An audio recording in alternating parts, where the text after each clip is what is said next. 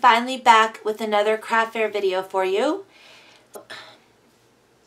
I'm sorry that I have been gone for several days.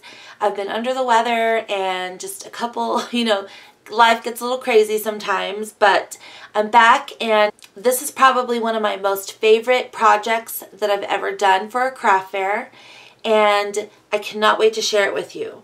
So um, I discussed in the beginning of my craft fair series that I was going to have this year some higher dollar items. I'm just going to go for it. I'm just going to try to, you know, make them good sellers at my craft fair.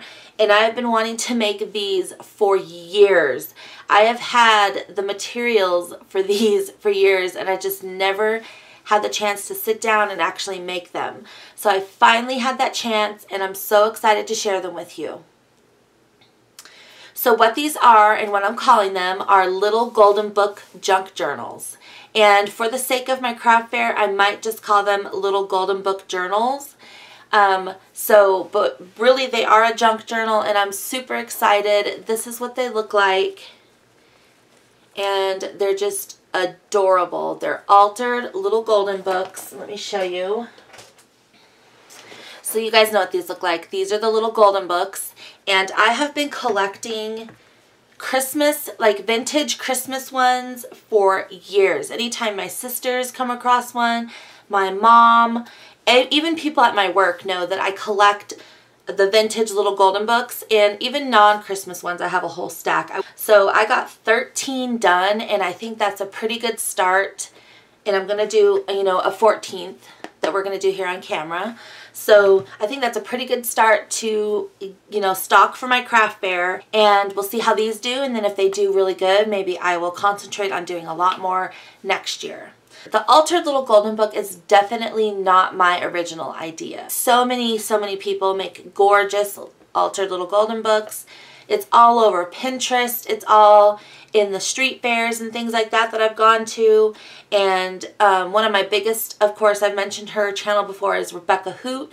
She even did altered little golden books um, in, in kits last year and I did order one from her and it's so cute. So even if you don't want to tear up a book because it's so special, these books, um, these altered journals have every single page still in here from the book. They're just, you know, sorted throughout this journal. Okay, so I promise the tutorial is going to start soon, and I'm sorry this is a little bit of a chatty video. If you're here just for the tutorial and you don't want to hear me talk, um, just fast forward. so with these journals, I know a lot of people are intimidated to make these for craft fairs. So I have some tips for you for making these and being able to, to make these in an assembly line and get quite a few done for your craft fair. If you're not doing a craft fair, this is an amazing gift that you can make for somebody for Christmas and they will treasure it forever because it's so, so special. So you're, whether you're making these for your craft fair or gifts, I think that you should definitely follow along with this tutorial. I'm going to give you the simple formula on how to make one of these so you're not overwhelmed. You're not, you know, grabbing from all these different areas in your craft room. You can get organized. You can have the simple formula and then kind of give it your own twist. So let's go ahead and get started. So I'm going to show you all the ones that I made. I have not finished. I have two things to finish on these. This one I have already done the rings. As you can see I put a bunch of fibers and ribbon on the rings. I don't want to fill them completely up because then you won't be able to open the book. I just put a few cute little ribbons on each ring and I think that gives it the perfect touch. I need to finish the ribbons for all of these. And the last thing I'm going to be doing is this. So there is a bunch of ephemera here that I have pulled. This is all Christmas, like this is all Christmas ephemera that I have pulled and I cut up. You can, as you can see here, I've cut a bunch of journal cards and I have a bunch of ephemera from different collections here and there. And I'm going to fill every single one of these with tons of ephemera. I'm going to clip it in. I do have all the basic construction done on all 13 books and I'm going to flip through this one for you and then I'm going to show you the simple formula on how to put one of these together. So like I mentioned, as you open it up, you do have the entire story in here, but they're just shuffled throughout the journal.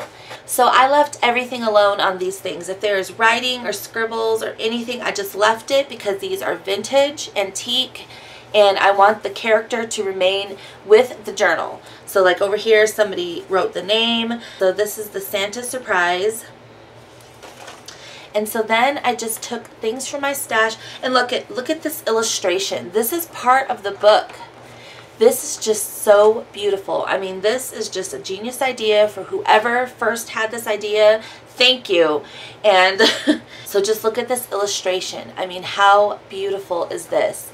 There's no way I wanted to cover this or rip it up or make it into an envelope or anything because it's just so gorgeous. A 1960s illustration. I just love it. So then you just take pages from your stash and I, like I said, showing you so you don't need to worry about it right now. So you can just sit back and enjoy the flip through. So here's a little paper bag I used. This is some scrapbook paper. And it's great because the back side is white so people can do a lot of journaling back here and then, you know, maybe glue some pictures here. Here's more of the book pages. Gorgeous illustrations. And then I also included some journaling paper, which is just um, copy paper. I made some pockets. So this is a pocket here, and then this is a pocket on the top up here. This is just made out of scrapbook paper. The back has a pocket as well. I made a cute, I just put in a cute little red envelope. More journaling paper. And then this is like a shorter um, piece of solid scrapbook paper. I love making different sized papers to put in here. More of the illustrations of the book. Look at how gorgeous this is. Oh my goodness. And then this is a piece of scrapbook paper as well. It's a thicker piece of white scrapbook paper. Here's more vintage inspired scrapbook paper. And that's what I tried to pull from my stash. I tried to pull vintage inspired paper, which I have a lot of because that's kind of my favorite theme. You should go in your stash and use what you have. And look at this picture. Oh my gosh, it's so beautiful. Part of the story, and then this one. I just absolutely love this. Here's more journaling paper. Here is um, more scrapbook paper with spots for journaling and pictures. More journaling paper. Here's a short little cute plaid piece I put in. And a piece of solid red cardstock. More of the story. And with the story, if anybody wants to, you know, journal up here with a marker or glue a little picture up here, that's fine. This is a junk journal. They can do whatever they want with it. So adorable. Scrapbook paper. This is one of my favorite illustrations in the book. I absolutely love it. Santa's doing some craft in here. And this one too. I just absolutely love this book. More journaling paper. Here's another one of those pockets. I put three of these in each book. So these are so easy to make with a piece of 12 by 12 and I'll show you that in the tutorial. And then up here and on the back, more journal paper, um, a, like a dark red piece of solid cardstock, beautiful illustrated page. Look at this. I mean, how much more vibrant and beautiful can you get? Some scrapbook paper, another paper bag, so they can tuck some memories in there. This is just full of gorgeous drawings and pictures and illustrations. Got some more journal paper, another little cute half um, piece of plaid scrapbook paper, and then this is solid red, solid green cardstock. I put one of these little flippies in there. This is just a card set I had and so I just glued the sides down and made a little notch right here so it becomes a tuck spot for, you know, journal cards or whatever. I just stuck that in there. More journal paper, more of the gorgeous pages from the book. I mean, this is just like a full illustrated page with no words. It's just so pretty. This is another piece of scrapbook paper, and it's really cute because it says Christmas card list. I love that. That's the back and another book page. More of the journaling paper, and there's two here. More of the book, scrapbook paper, more of the gorgeous book. Look at that one, isn't that cute? And then here's the last pocket. I might glue this little part down, but you can still, it's still a pocket. And then up here is a pocket as well, as I mentioned. And I did cut a little notch right here, just so you can see the inside of the other side of the paper. Another little pocket. And then the last sheet is a solid white piece of cardstock for more journaling. And here is the back. So that is a complete flip through. Now remember, throughout this entire book, I'm going to be clipping tons of ephemera and little journaling cards and all kinds of fun bits and pieces. So I'll be sure to show you that at the end of the video. But let me show you all the rest of them I made. I'm just going to show you the covers so you can kind of see the vintage little golden books that I used.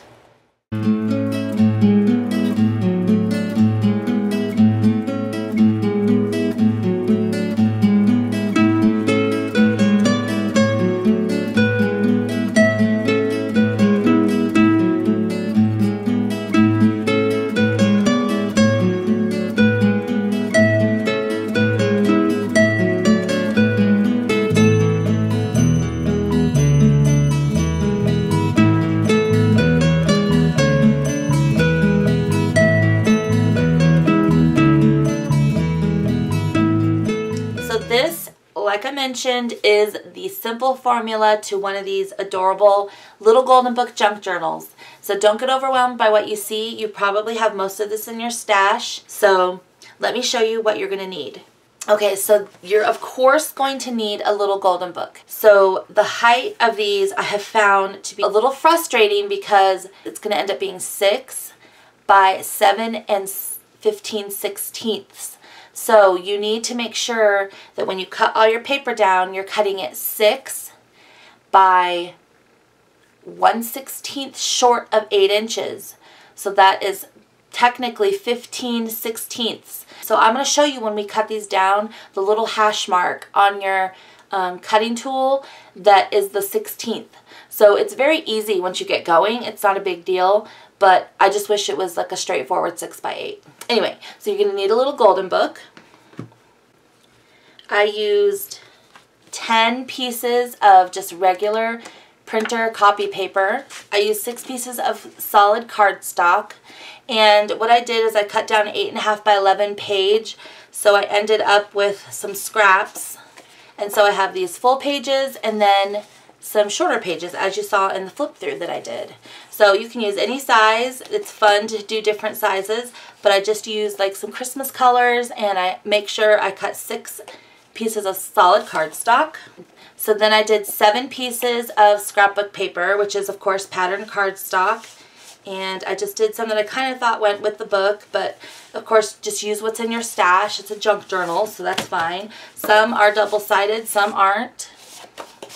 So that's seven pieces of scrapbook paper.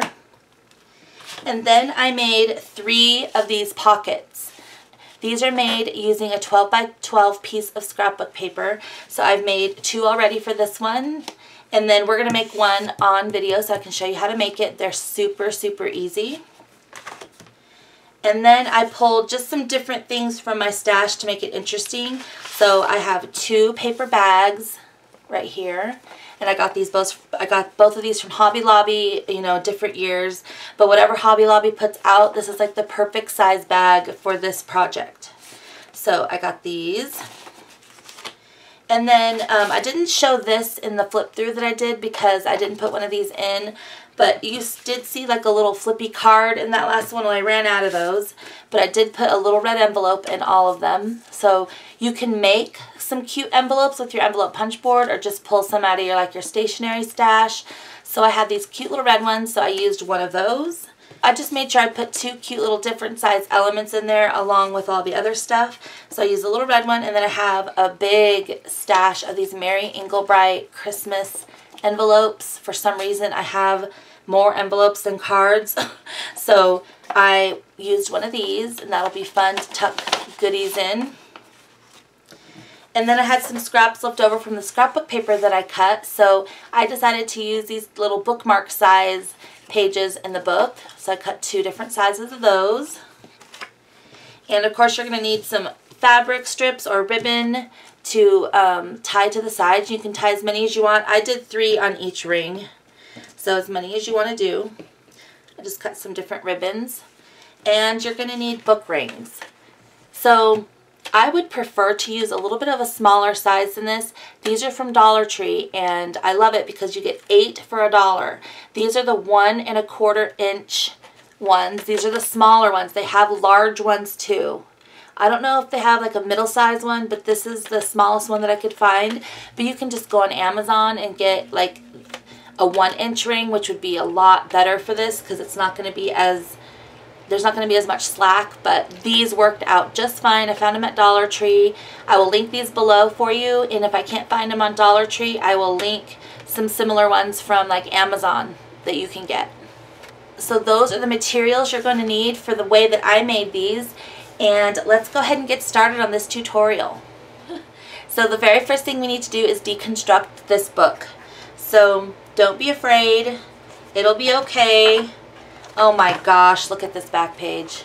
Oh, so cute. But anyway, so what you do is you take the book and you just hold the pages here and you see they're, they're stapled in. So it's not that difficult to tear apart. So just hold your pages here and simply tear off the cover. Now you might be left with, you know, some of the spine right here. That's okay. Turn it around. Do the same thing. Just tear off the back cover. Don't rip your pages. Try not to.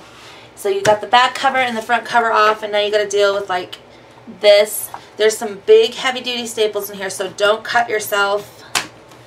Um, but you can just kind of simply tear that off. So easy. So here you go this is garbage. You can throw this away. You've got your pages and they're all still intact kind of because they're like glued here. So that's going to be super easy to slice off. But let's take care of the covers first. You can totally use a regular cutting tool for this. And what I do is I put in a dull blade. So I don't use my nice sharp new blade. I put in a dull blade. And I save my dull blades for things like this, for cutting chipboard and different stuff like that, so I don't ruin the blade that I'm using to cut paper. So all you're going to do is you're going to stick this in your cutting tool at six, exactly six inches. So line this up at six inches and just hold it down and slice. Now it's not going to go all the way through. So just take it out turn it around, line it exactly up at six inches again. Put it down, and this is going to be an easier slice because look, now it's an exact, nice clean edge. So you've got the back cover done. You can throw this scrap away. And now just do the front cover. So line it up again at exactly six inches do your cut, go through a couple times with that dull blade, then open it up, turn it around, six inches exactly, and that's going to be an easy cut. So now you have beautiful front and back cover all ready to go, exactly the same size, and that was super simple. So just take this, throw it away, and then you're going to keep your dull blade in there because you're going to go through several sheets here. Same thing with your little packet here of pages. Turn it around where that ugly edge is going to be cut off. Line it up at six inches. And do the same thing. Do Be a little more gentle with these because they're pages. But do your slice and kind of go over it several times. Be careful because these some of these will start falling away. And in this case, mine came off without having to do the second cut. So just throw this scrap away and you have perfectly clean pages. So now you can stick them inside your book and they're going to be the exact right size. Look at that. Everything is nice and clean and lined up. You got your book all prepped and what I did is I prepped all my books, got them all cut down and I stacked all of them up in a line like this and I just got all of them done and cleaned up and then I went and did my paper. Okay.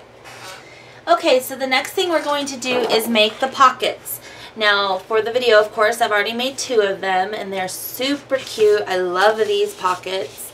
So these are the pockets we're going to be making. They have a pocket here, a pocket up here, and this, this is going to be sealed over here because it's going to have the rings, and then one on the back. So these are made using a 12 by 12 piece of scrapbook paper. The final measurement on this is going to be 12 across by 11 tall. So this one doesn't have an orientation, but just make sure that you cut the one inch to make it 11 off of the height of it. So you're going to need a scoreboard for this, just for um, a couple of score lines. So you're going to put your scrapbook paper in your scoring board at on the 12 inch side, so it's 12 inches across, and you are going to score in the middle at 6 inches. So just give it a nice score. Then you're going to turn it so the 12 inches is now on the left side. And now you're on the 11 inch side up here. So you're going to score this at 8 inches. So it's going to be a 3 inch score from the bottom. So score at 8 inches. And now you're not going to need your scoreboard anymore. So now you've got your page all scored and you need to decide what you want to be showing the most. So like on this one, this part is showing the most. So I want the holly leaves to show the most, so I'm going to make sure that I keep that up. So just keep that in mind when you're folding. So I'm going to fold it like this, give it a nice score, open it back up, and fold this part that we scored up, like this. So give that a nice crease, and then just close it like this. I mean, how easy was that, you guys? That was so easy. Just make sure, because it's a little bulky over here, you give it a nice crease and down here as well. So this is your pocket. All I did up here for the little notch is I just took one of my circle punches and kind of eyeballed it. So the left is going to be, so this is going to be how it goes in your book where the opening is at the left because that's where the rings are going to go. So make sure that's where you cut your notch on this side, not this side. So I just kind of go in here on that first layer, eyeball a half circle or like a quarter circle, and there we go. There's our cute little notch. So now we have all three pockets made. Isn't that cute? So before, we're almost finished with this, but before we are completely finished, you need to cut that little 16th of an inch off. So I guess we could have waited to do the notch, but it's not a big deal. So you're going to go almost to the 8, and there's a little tiny hash mark right before the 8 on these trimmers. And that is the 16th mark. So just, it's like seriously a sliver. So we're going to trim that off. And we got our sliver, oops, sorry, I was out of frame. But we got the little sliver right here trimmed off. So make sure you're cutting your scrapbook paper, your pockets, your journaling paper, and at least three of your solid cardstock pieces down to 6 by 7 and 15 sixteenths. So 6 by 1 16th shy of 8, okay? And the rest of them, just make sure, I mean, you don't have to worry about the, the width at all because they can be any width. They can be different sizes. But the height has to be that 7 and 15 sixteenths measurement because you don't want this, you know, going over and overlapping all the other pages and coming out of the cover. That's not a good look. So just make sure that they're either, um, so make sure all the heights of everything are the same. Like this, it doesn't matter because it's so little, you're only going to poke two holes here. So let me show you how that's all done and then I'm going to give you my last tip. So my first tip was the simple formula to get that all settled and situated and then my last tip is coming up in just a second. Okay everybody, so for the sake of this video, just pretend there's a few here that I've already cut the holes um, that I've already punched the holes, but just let's pretend none of the holes are punched, okay? Just for the sake of this video. So here's how we're going to assemble this. You're going to open this up and the very first page should always be, in my opinion, like I said, all this is my opinion, should always be the first page of the book. So just flip that over. And then I'd like to put something immediately interactive on the first page. After the first page, I'll put a piece of scrapbook paper right here. But on top of that, I will put, but on top of that, I'll put a paper bag. So once you open it, it's going to be the page, then a cute little paper bag, and scrapbook paper. So then turn that. Then you keep another book page in there. Turn that. Then I like to stick in a page of the white journaling paper, which is just the copy paper. Okay. And then after that, I will put a pocket. My first pocket. My first pocket in, which we'll try that one. So then flip that over, then keep another book page in there, flip that. Next, I'm going to put a piece of solid cardstock. So I'm going to use a full green one. Flip it, and then I will put another piece of journaling paper right behind it. Okay, then flip another page over. So here I'm going to do another piece of scrapbook paper. Another piece of journaling paper. But between, then I'm going to put the journaling paper, but in front of this journaling paper, I'm going to put one of these half sheets. So then I'll flip that over, keep another book page there. Then here I'm going to do another piece of journaling paper. Then I'm going to go for another piece of scrapbook paper. flip another page over. So here is another pocket. We put a pocket here, a piece of journaling paper,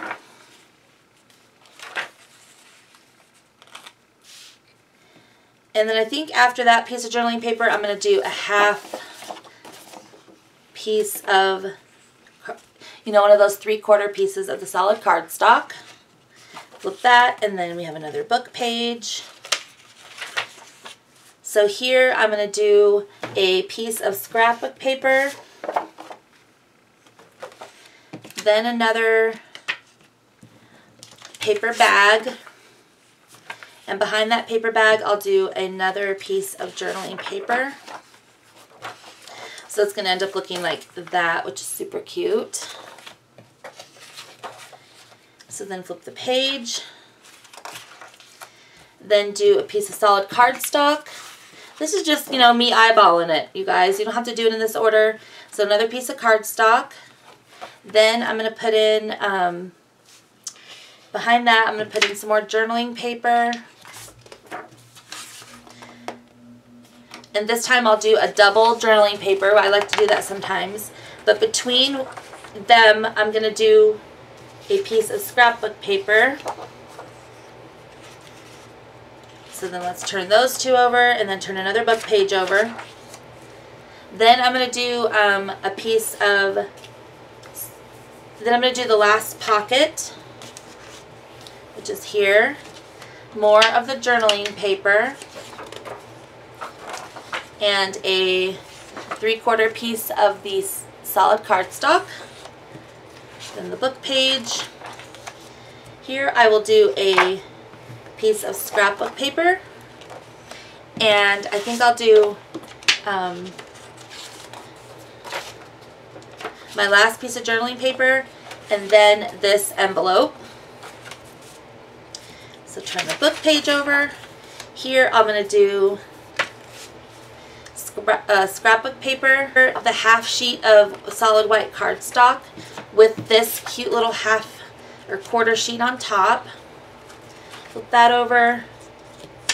Then I'm going to flip the page over. That's the last page. And then I'm going to put a solid piece of white cardstock at the end for more journaling. This is going to go in in just a second. So then you have it all assembled. Just stack it up like this. My advice is to stack it all to this edge and to the top. So get it nice and even, and look at that. It's even all the way around. Okay? So you might be wondering why I'm not punching the holes first? Well, I'm going to tell you that's my last tip in just a second. Okay, so we've got this even all the way around. I'm not going to include this, and this is why. So, I'm going to take this book all assembled. Make sure, again, it's really, really straight and good to go. And I'm going to take some regular size binder clips, and I'm going to take this to the top around the area where like those quarter sheets are right there. And then on the right side. Okay so this is all completely assembled and ready and good to go. So then this is my tip.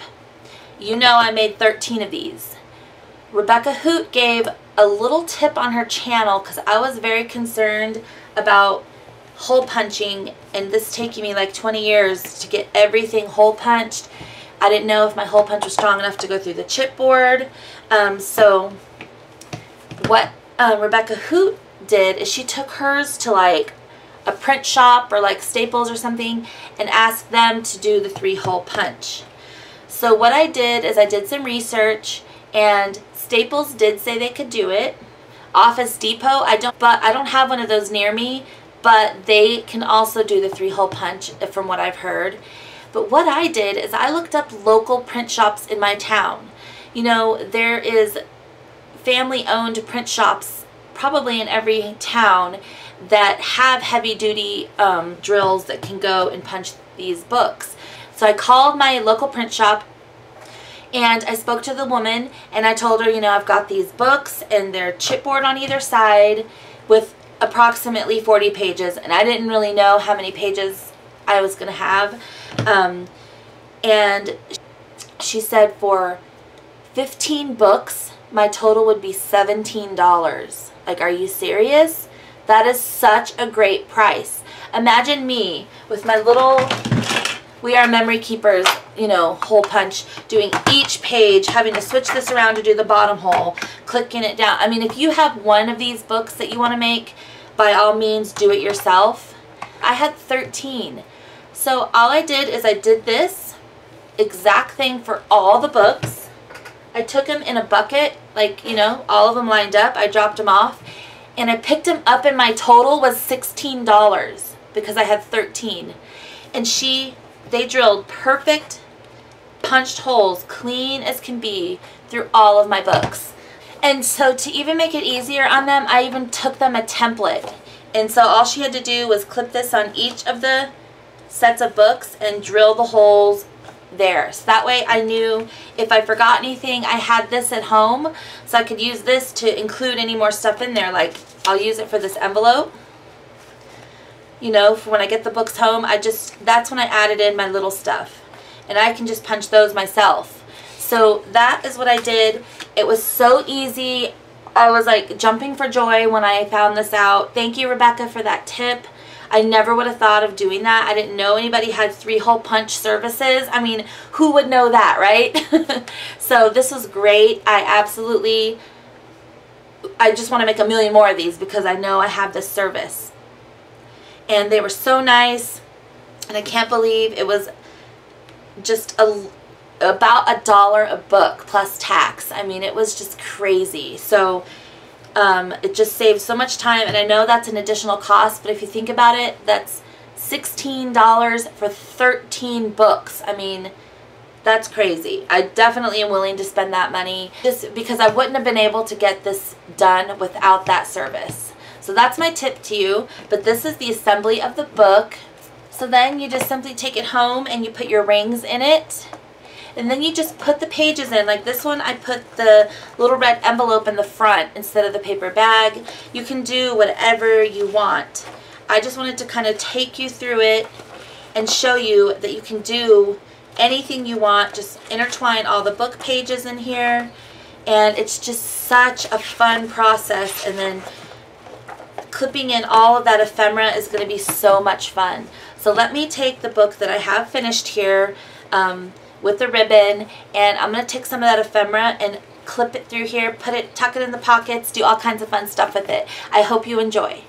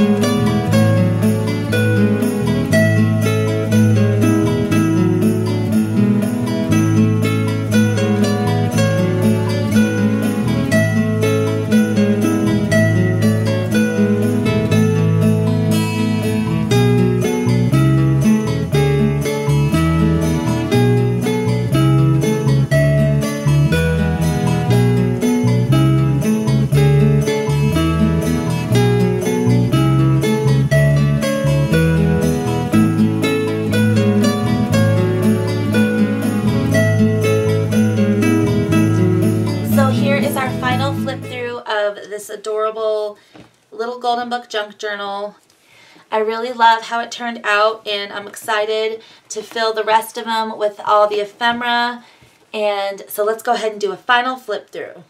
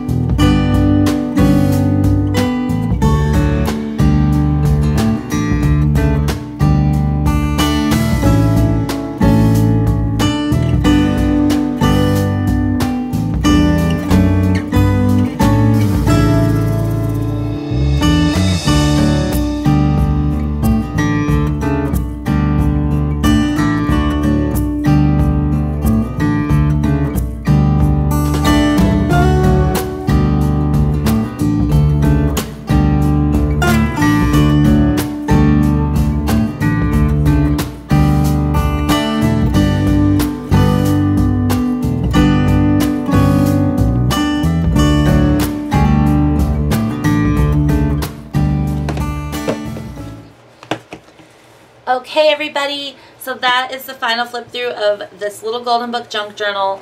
I hope that you try this out. Even if you're not doing a craft fair, you can make some of these for gifts for Christmas.